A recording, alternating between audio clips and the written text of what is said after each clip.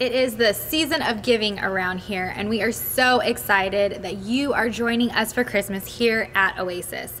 My name is Heather, and if it is your first time joining us, thank you so much for making us a part of your weekend. And like we have been saying, if you've been around for any length of time, you know that we exist to ignite hope and add value to the lives of those in our community.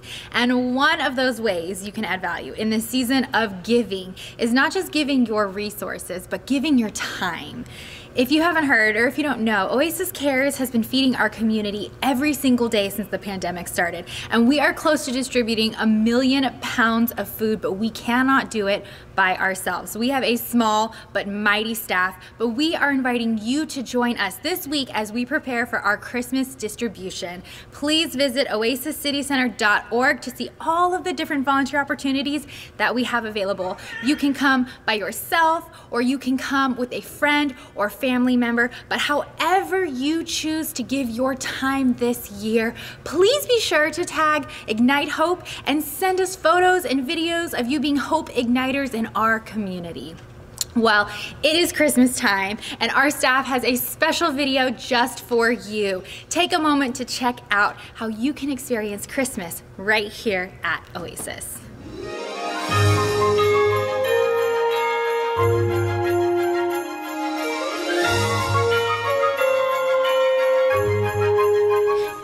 Know that the holidays look different this year. But we want you to know that you have a place here at Oasis. During this Christmas season, we want to ignite hope in you. We want you to experience peace. We want you to experience joy. We want you to experience comfort. We want you to experience worship. We want you to know Oasis is your home. You belong here. So whether you're joining us in person this Christmas or joining us online from the comfort of your home, we want you to know that you are part of the family here at Oasis, and we want you to experience Christmas at Oasis. Welcome home for the holidays.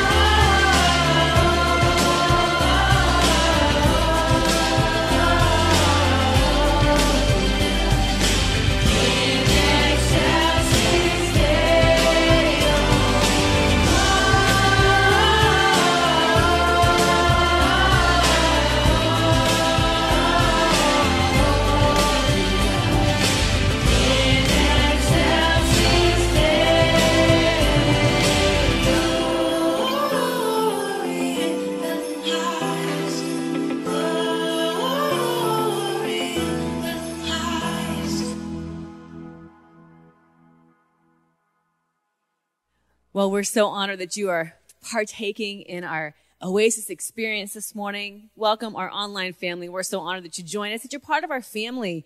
Thank you for sticking by us and staying in tune with us and staying in touch and sharing this message with other people that you think would benefit from it, your friends, your family. People need to hear this message today because it's a message of hope.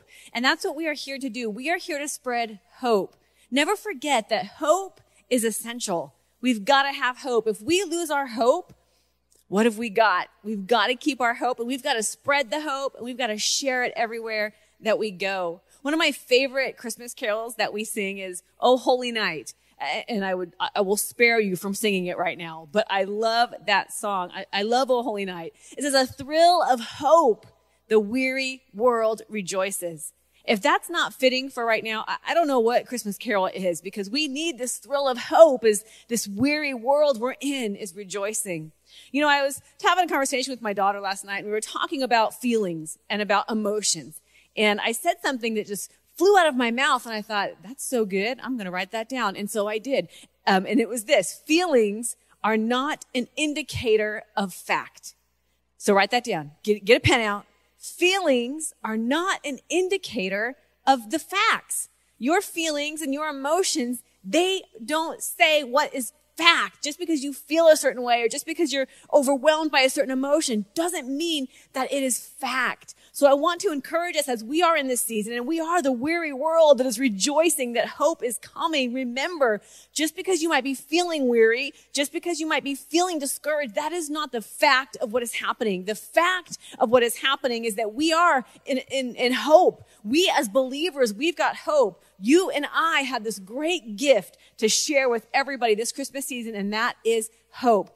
Definitely, definitely, definitely, it is a weary world but the weary world can rejoice. Because you might even say that you're, you're, you're worn out, you're exhausted. That would be acceptable to say. And that would be a great place to kick off Christmas season, right? To be able to come into Christmas season and say, I'm weary, I am discouraged. Because remember, in darkness, remind yourself the hope of Christmas is coming. It might seem distant. It might seem like you just want to pull the covers over your head and say, um, Christmas cheer, I'll visit you next year because it's not there today. But I really want to encourage you today that there is hope all around. You might not be able to see it. All you look around and see right now is darkness. We see um, injustice all around us. We see chaos. We see control from the government. We see uh, people hurting, people that are sick, people that are frustrated, people that are confused. Indeed, we see darkness. But can I remind you of something that I was reading about that just struck me as so interesting? The last book of the Old Testament is the book of Malachi. And the first book of the New Testament is the book of Matthew. Well, between Malachi and Matthew, there's about a four to 500 year span where we don't hear from a prophet. We hear from the prophet Malachi and then the Old Testament comes to a close and then we don't hear from another prophet again until we hear from John saying, make way for the coming of our Lord. And, he starts to baptize people and prepare for the coming of the Messiah. But could you imagine the darkness that the people that lived in that four to 500 year span, what they were feeling? What were God's chosen people feeling? Eh, they're waiting for salvation to come. They're waiting for the Messiah and they don't hear from God. He's distant. He's quiet. Maybe you feel like that today. You feel like, God, where are you? I feel like you're distant. I feel like you're quiet. I feel like, I feel like there, there's nothing being said. There's no hope for me. But remember, in that silence of that four to 500 year span, remember that God was gently making way to send his son Jesus as the Messiah in an unexpected, unimaginable way. And it's the same for you and it's the same for me today. God is gently making way for that answer to come in the midst of your dark season. So whatever it is that you're feeling today that is dark, that is weary, be a person that says, I may be in a weary world, but I'm rejoicing because I've got a thrill of hope because God is gently getting that answer to come your way just just at the right time and it'll be in an unexpected way because that's how God rolls it's it's like we have to come to the end of ourself so that God can then move right? When we come to the end of ourself and we've given up all that we can possibly muster up that's when God is able to move. When we say I'm done God you take over. The thrill of hope the weary world rejoices. I want you to rejoice this morning. You might be weary but be the weary person that rejoices because the thrill of hope, it's coming.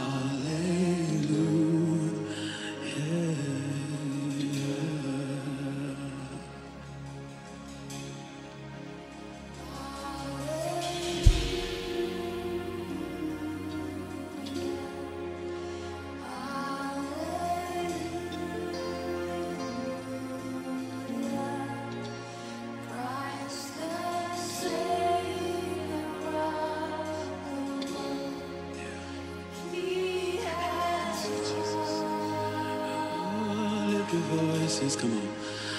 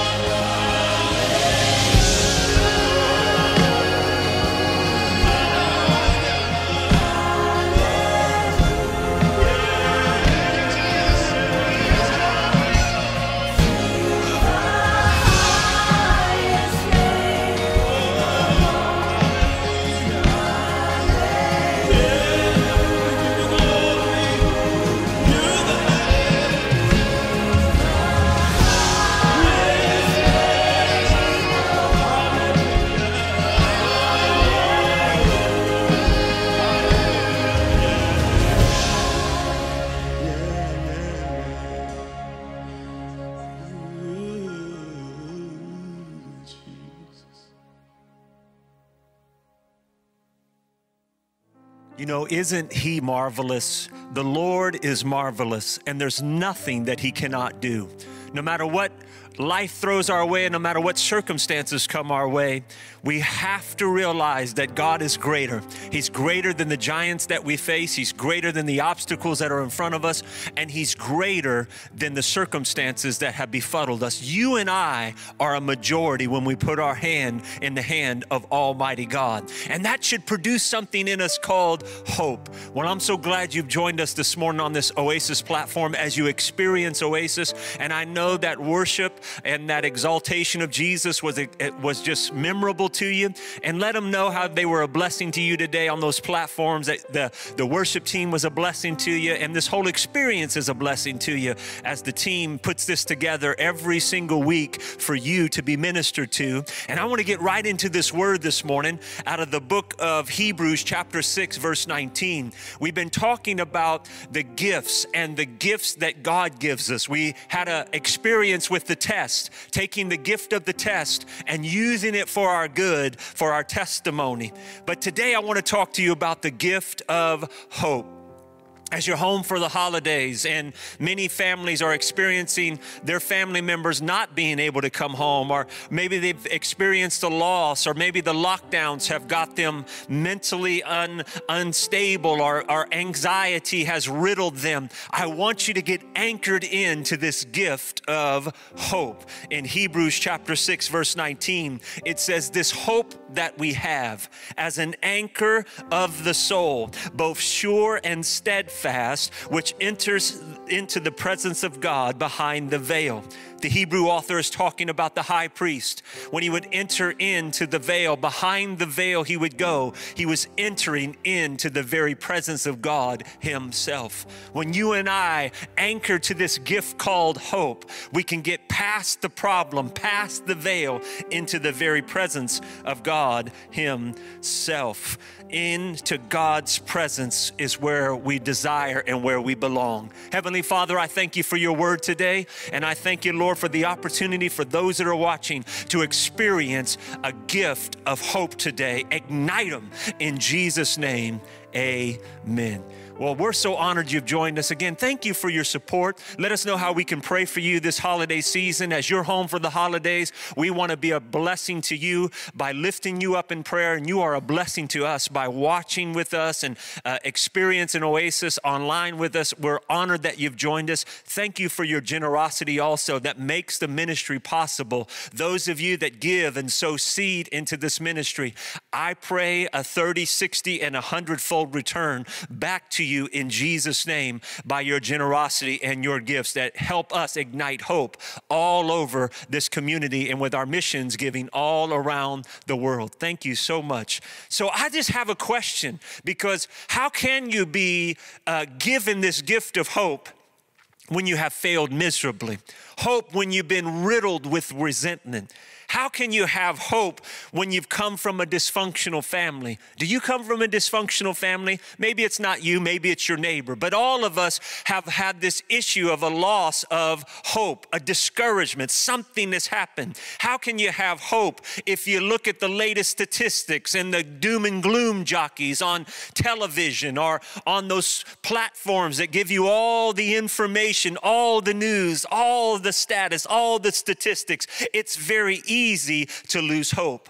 All of us, sooner or later, will experience the pain and a deep frustration from the thing called life plans fail, problems mount. 2020 comes, one issue after another, lockdowns, disappointment, problems, pressure to perform at higher levels constantly increase. The storms of life bring stress, loneliness, sickness, depression, tragedies, marriages collapse, suicide, and sometimes premature death. It seems like so many people today are living on the edge of the cliff with their fingernails hanging on the edge, desperately searching for a gift called hope. But a world that is ever so increasingly growing cynical and hopeless we who believe, do I have any believers watching this morning?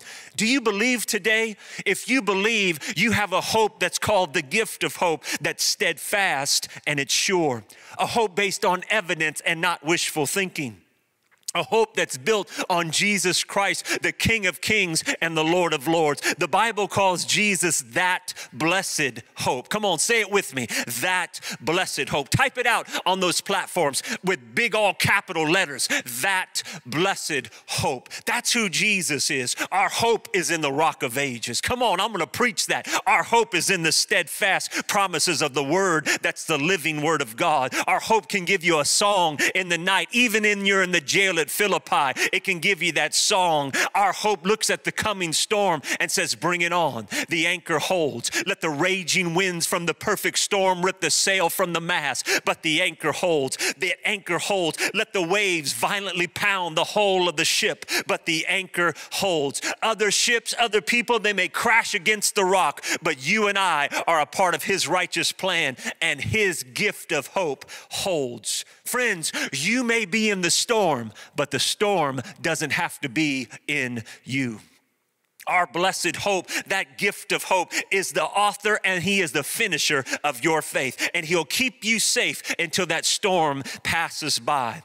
When our hope is built on nothing less than Jesus' blood and righteousness, then here's what happens hope sees the invisible, hope feels the intangible, hope can ch- achieve the impossible, hope can hold you through the most difficult tests and the most difficult storms of life. Our hope brings you the peace in the midst of the storm. Remember when Jesus was on the Sea of Galilee walking to the disciples, were in the greatest storm of their life, and he came to them in an unexpected way, walking out onto the water. He came to them in an unexpected hour. It was in the midnight hour. That was between 3 a.m. and 6 a.m., the darkest of the night before the dawn. Dear friends, those of you that are facing a storm, put your anchor in him, the hope, that gift, and let him walk to you in an unexpected way. And let Him come to you at an unexpected hour and let Him give you a supernatural answer that'll give you the peace in the midst of the storm, that gift of hope that's steadfast and sure.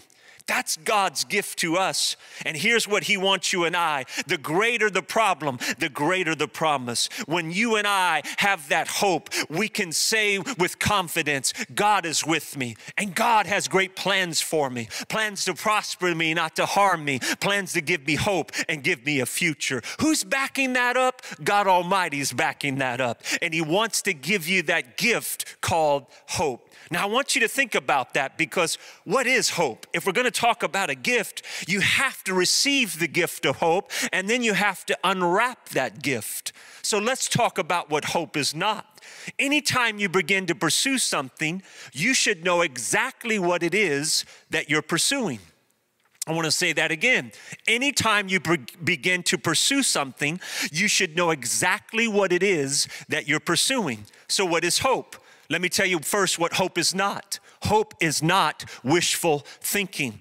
Many people in 2020 are wishing that this year would just end even quicker. I know we're coming to the month of December. I know we're coming to the end, but they're just wishing, wishing, wishing. And hope is not wishful thinking. All of us have wishes for ourselves and for other people and for our future. Those wishes are our perception of what we think would be best for us are best for other people, what we believe that would satisfy us. That's what many people do. They look at the Bible as some type of wish book, but I'll assure you it's far more than that.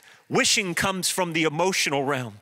Wishing is something that stems from our flesh. When we have hope and we have that gift of hope, when we unwrap that gift and receive that gift, that hope comes from heaven. That hope comes from God. Therefore, it comes from the Word of God. Listen to Psalms 119, verse 114. My hope is in your Word. Come on, say it with me. My hope is in your Word. Why? Because this Word is alive. This Word is powerful. This Word is sharper than any two edged sword. This Word cuts going going in and it cuts going out. This is the only book you will ever read, and when you read it, it starts to read you.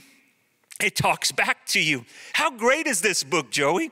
As great as the blazing sun is, and is trying to compare with other books to a glowing candle. This book is greater than other books, as the mighty ocean is greater than a dripping faucet. This book is greater than other books, as the Rocky Mountains are greater than a single grain of sand upon the beach. This is something for everyone. This is what will sustain you. This is what will give you strength when you're weary. This is what will help you when you're going through the most difficult times of your life. This is what will anchor you down down in truth because so much of our society today is given half truth and false truth and nothing more than lies acting as though they're truth. But this is not what I think it is. This is the truth of what God says it is. This is the hope that we have. It gives us the strength to say, God's will will be done. So think about that because hope is not wishful thinking and hope is not yearning. Often we use the word hope to express our yearning for something, like we're so anxious for it to come into play, and we say things like, Well, I hope so. I hope so. I hope so. We often use that word hoping, but it's nothing more than an intense form of wishing, and in fact, then we start yearning for it. But yearning is nothing more than an intense form of wishing because it sets you and I up for disappointment. Yearning is a waste of time trying to get something into effect, trying to bring things into existence. Many times people substitute that yearning for prayer. They substitute that yearning for opening up this book and finding an answer in God's word. You're not going to find an answer listening to the news outlets. You're not going to find the answer listening to the latest politician who wants you to see things their way. You're not going to find your answer on a Republican Party or a Democratic Party or even an independent party. You'll find it in the kingdom of God. That's the gift called hope.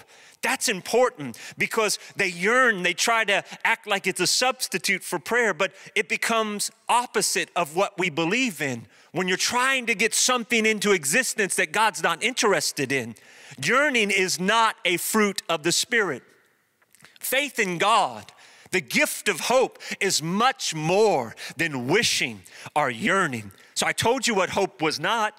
Let's talk about what hope is. Hebrews 11, chapter 1 says, Now faith is the substance of things hoped for and the evidence of things not seen. Get those two words today substance and evidence. Substance and evidence. Substance is what God has done in His past, evidence is what He's done in the Word of God. So my hope in God is not built on rabbit's foot faith, wishing or yearning. Rabbit's foot faith didn't do the rabbit any good, it ain't gonna do you any good. Our hope in God is substance. It means if God has said it in His Word, that means if you can find a verse in the Bible that fits with what you're currently going through and the trouble and trials that you're facing, you find a verse in the Scripture, hook your anchor to it, receive that gift of hope, and you can hang on as God brings the answer your way. If God has done it in the past, He'll do it again. If He's done it before, He'll do it again. So my hope has to be anchored into the right thing. I have to receive that gift of hope so it's anchored into the right thing. That's why I don't hope God answers prayer. I know God answers prayer.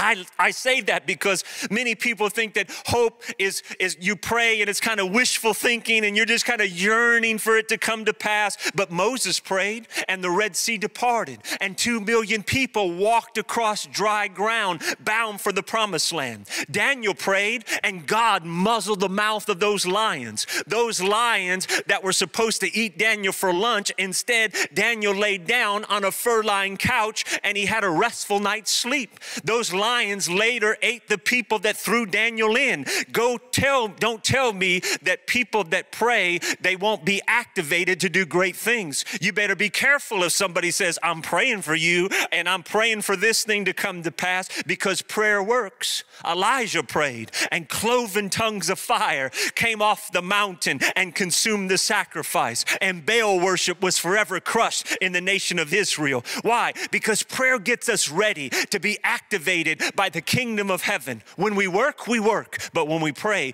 God begins to work. That's so important. I don't believe that God heals, I know God heals. I don't just hope it, I believe it because God has done it. God wants you to know that today because there's so much fear based going on, propaganda of people being worried about this thing and worried about that thing. And I'm telling you today, I know God heals. God heals cancer, He heals COVID, God heals diabetes, He can heal heart disease. No matter what the issue is, our God was a healer. He is a healer. He always will be a healer. Can I get a great big amen today for those of you that are receiving this? In other words, I don't have to hope it. I have the ability with substance and evidence. So I don't hope that God delivers. I know God delivers. I don't hope God's coming again. I know Jesus is coming again. The Word of God said, Jesus said it himself I go to prepare a place for you. Where I am, there you may be also. Very soon that trump of God shall sound, and the voice of the archangels will split up the heaven, and the dead in Christ will rise first, and we which are alive and remain shall be caught up to meet the Lord in the air. That's a deliverer Jesus said, Because I live, you shall live also. What a gift of hope we have today. What a gift of a deliverer we have today. When Nebuchadnezzar was told by the three Hebrew children, the God that we serve, King, is able to deliver. The most powerful man on the planet looked at these three Hebrews and said, Throw them into the fire. But he did not realize the one that showed up in the fire was not sending someone. He was the one who conquered death, hell, and the grave, and he showed up himself to deliver and prove himself to be a mighty and a powerful God. What are you facing this morning? What are you going through today? Have hope in God. Have the gift of hope. It's substance and it's evidence that what God has done in the past, he can do again. And if he's did it for the least, he'll do it unto you. In closing, you have to realize today this gift of hope has to be received substance and evidence. No plague there in thy dwelling. Greater is he that's within you than he that's within this world. He is that rock, he is that fortress. In other words, what God has done, He can do. So you have to have that gift of hope and receive that. This is the gospel of hope. It's not the gospel of this world. It's not the gospel of religion. It's the good news of hope. Receive the gift of hope today. It's evidence, not wishful thinking, not yearning based on fact. Fact based on performance. And nothing in the world could match what God can do. Not only what God has done, but what He can do. And friends, those of you that are watching, what He can do for you. Many people believe that God can do the miracle, they just don't believe that God can do the miracle for them. They say things like, Well, Joab made too many mistakes. I've made too many horrible decisions. I've made too many bad choices. And what God is saying, there's a gift of hope for you today. No matter where you come from, no matter what you're currently walking through, there's a gift called hope for you today that conquers all things that have come against you. Why? Because the Bible says, Cast not away the confidence that we have in the Lord, that He will not fail us. I love that. Cast not away the confidence we have in the Lord that He won't fail us. Do you know that hope to many cultures and many religious institutions, they don't consider hope a virtue at all? Did you know that? Do you know that in pagan cultures, hope is considered something evil? Hope is considered something to avoid and to shun in Buddhism. That's why you can't say, well, Christianity and all other religions are the same. What nonsense that is. There's no other God but our God. There is no other hope but Jesus. You may look at it in other ways, but you will never find the real hope until you find Jesus. Do you know that? Because Buddhism, hope was not considered a virtue at all. It's rejected, it's regarded as a deceiver and as a betrayer. The same was true in the Middle East when Jesus walked on the earth. When he began his ministry toward Nazareth, the Greeks and the Romans did not waste time and energy with the thing called hope. They worshiped something called power and beauty respectfully. Isn't that true today? What does America worship? Power. What does political politicians clamor for? More power. What do you think? All these lockdowns and all these stuff, you give these little peons a little inch of power, they become your ruler. You give them an inch, they become your ruler. Think about which hope is respectively disregarded to so many. The Roman concept was simply this get a large enough army and just wipe them out. That's the hope we have. The Greeks hoped in beauty, they worshiped beauty and intellect. Anybody that did not receive what they were giving and if they didn't speak Greek, they were considered barbar, where we get the word barbarian from. Many people don't know that. And then comes Jesus, coming by the Sea of Galilee, coming to that shore, offering people this wonderful gift called hope, saying, Seek ye first the kingdom of God, and all of these other things be added unto you. His message, it's the same today as it was back then. You'll have a great life when you receive the gift of hope and you receive me, the God of Abraham, Isaac, and Jacob. What he's saying, in effect, is I am the blessed hope for the world of tomorrow. I'm the blessed hope for the struggle of today. And I'm the blessed hope for eternity and beyond. I want you to know that because Jesus Christ is still our blessed hope. He's still the fairest of 10,000. He's still the might, the bright and the morning star. He's still the rose of Sharon. He's still the lily of the valley. He's still heaven's hope and hell's dread. He's still Jehovah Shammah, the God who is with you. And he'll be with you when you walk through that valley of the shadow of death. And He'll be with you in the darkest time of your life. He'll be with you when all others walk out. He begins to walk in because He gives you the best of things and the worst of times. And He'll be with you in your day of victory. And He'll be with you when all others can't be with you because He'll never leave you and He'll never forsake you, even to the ends of the earth. That's the gift of hope that we have today. That's so wonderful because you and I desperately need to receive this gift of hope. Those of you that are watching right now, have you lost hope? Are you currently losing hope in an area of your life? Then I want to pray for you to receive this supernatural gift called hope today, especially as this home for the holiday season is upon us. Wrap, unwrap this gift and receive an infusion, an igniting of hope today. Hallelujah. Heavenly Father, I just thank you right now that the words that I shared were not my own, but they were mixed with Holy Spirit power. And God, they came from you to ignite hope in your people to give them that gift. Heavenly Father, give them the faith, the substance, and the evidence to unwrap the gift and receive that hope today. Just take a moment and receive the worship and the hope that comes through our worship to Him. Hallelujah.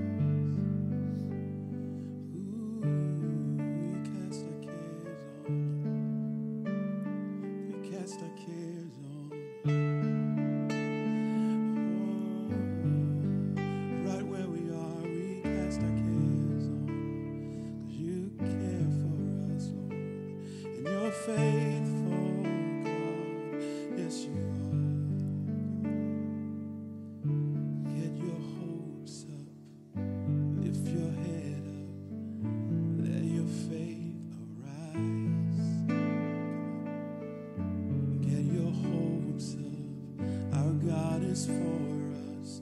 He brought us back to life. I see the sun waking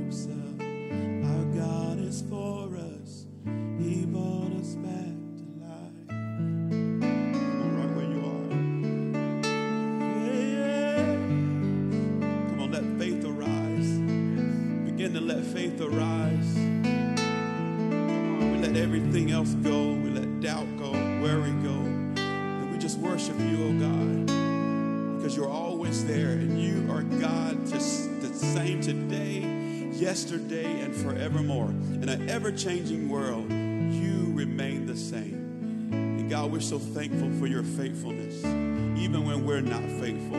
We thank you for your faithfulness. Come on, right wherever you are. Your hopes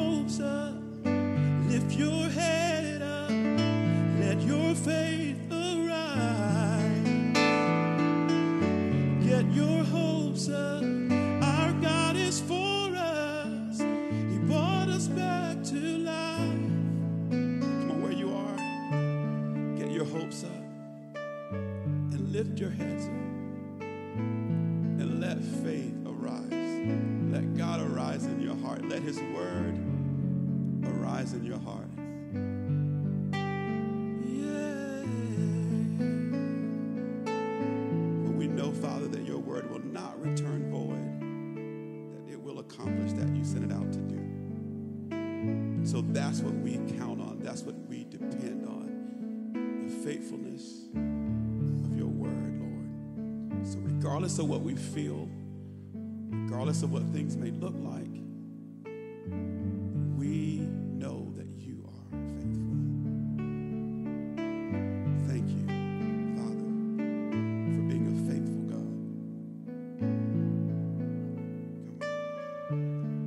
you to just repeat this wherever you're watching today. Just say it with me Heavenly Father, I receive this gift of hope. I receive this gift of strength. I receive this gift of Jesus. I receive it. And the areas of my life, Heavenly Father, that I'm needing strength and hope are these. Now, you just go ahead and fill in that blank right where you're watching right now. Just fill in that blank. If it's an area with your health, with your children, with your emotional state, with your anxieties, with your with your discouragement, whatever those areas is where you've lost hope or you're currently losing hope, just let an infusion of that gift come right now in Jesus' name. Come on, let it out right now. Just let it out by faith. Just say it with me. I receive, I receive, I receive this gift of hope in Jesus' name. Hallelujah. Don't you feel better? I feel better. I know Pastor Tom feels better. I know you do as well because Jesus is with you. And if Jesus is with you, that gift of hope is available to us. Everything is going to be all right.